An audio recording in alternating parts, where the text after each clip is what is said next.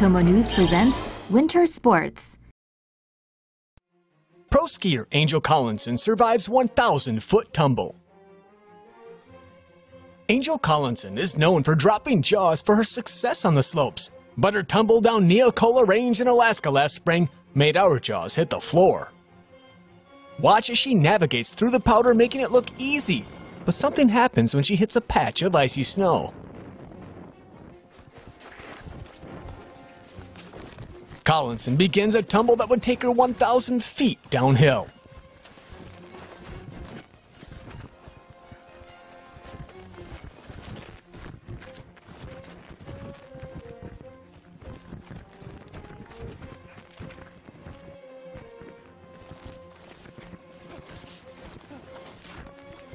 Miraculously, she was able to walk away from the spill with just a couple jammed fingers.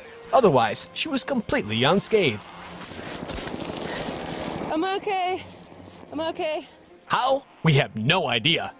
Collinson told ABC, I covered my face and protected my head with my arms, and I just kind of held on until I stopped. Yeah, I'm fine. And I can go back up and get my shit too.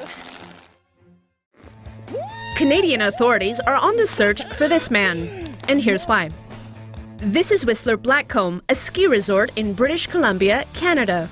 And this is their peak to peak gondola, which connects, well, two peaks. At its highest point, it's 1,430 feet above the ground.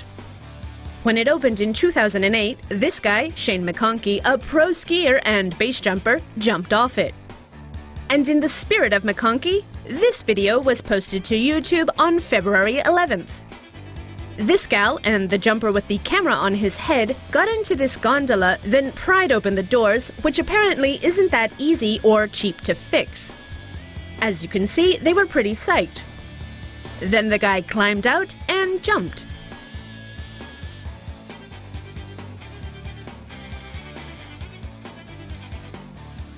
Now, if you're not in the know, base jumping is a sport where people jump off shit, specifically buildings, antennae, spans, and earth, which is what base stands for. You will note that gondola does not fit into the acronym.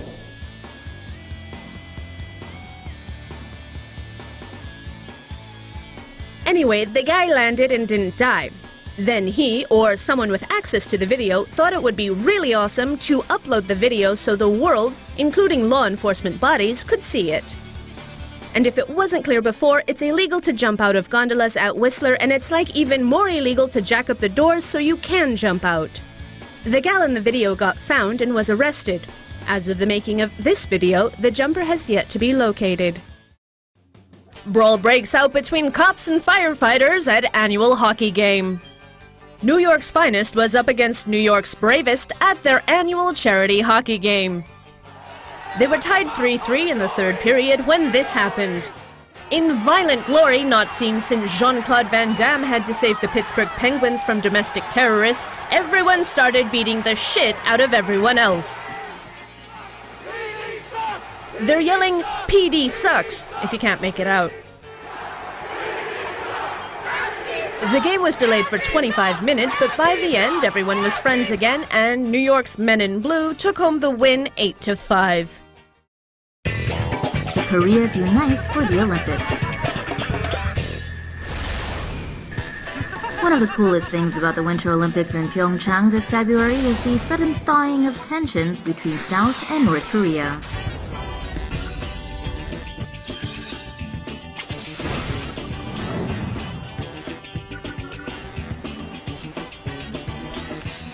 The two countries dropped a bomb announcing they'll march under one flag at the opening ceremony. The plan is to also field a joint women's hockey team. And as a beating bonus, the North is also throwing in its 230-member all-female cheerleading squad. Pyongyang may send up to 500 athletes, cheerleaders, musicians, officials, and reporters across the demilitarized zone. North and South Korean skiers will train together at a resort in North Korea before the Games. But who's going to foot the bill?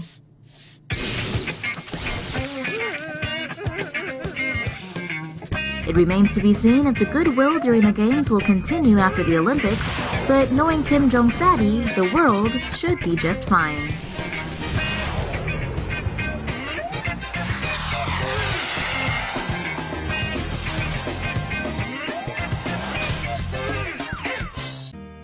Heroic ice skaters chop through thick ice to save moose stuck in frozen lake. A video uploaded to YouTube on Wednesday shows the nail-biting moment a group of ice skaters in Sweden risked their lives to rescue a moose that was trapped in a frozen lake. Victor Johansson and his partner Sigrid Schusten were skating on the lake when they spotted the moose. The couple returned with an axe and tried to rescue the exhausted animal by smashing through the thick layers of ice. The pair took turns pummeling the ice for 30 minutes straight. They eventually managed to clear a path for the moose to get to shore, and the animal clambered back onto land and disappeared into the woods. The video, which was uploaded last Wednesday by Johansson, has accumulated more than 500,000 views.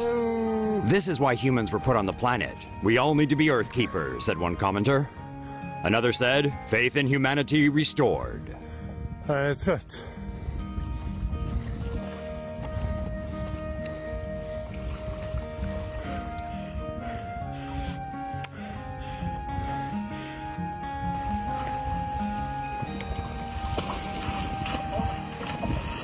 Yes.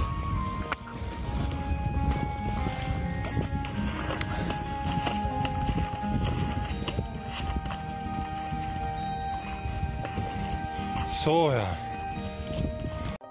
Climber is killed after falling hundreds of feet from Mount Hood. A man fell to his death from the summit on the Elliott Glacier side of the Oregon Peak early Tuesday morning. The climber was identified as Robert J. Cormier, a 57 year old Catholic priest from New Jersey. Cormier fell while scaling Mount Hood in a party of three.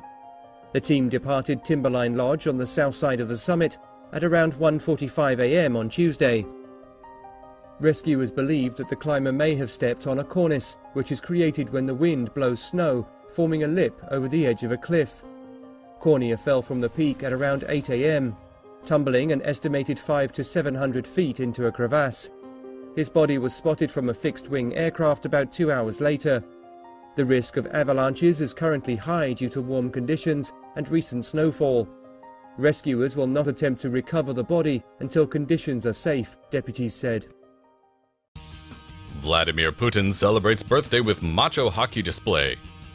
If you were to believe Russian state TV, you'd think that Vladimir Putin was some kind of Chuck Norris. The guy's done everything from working out and having tea with Comrade Medvedev to kicking butt at judo. And who could forget the iconic horseback riding image? Shirtless, of course. So while his country was bombing the caviar out of Syria, Vlad celebrated his 63rd birthday by playing hockey. His team won 15 to 10, and Mr. Putin scored 7 goals himself. Only 7?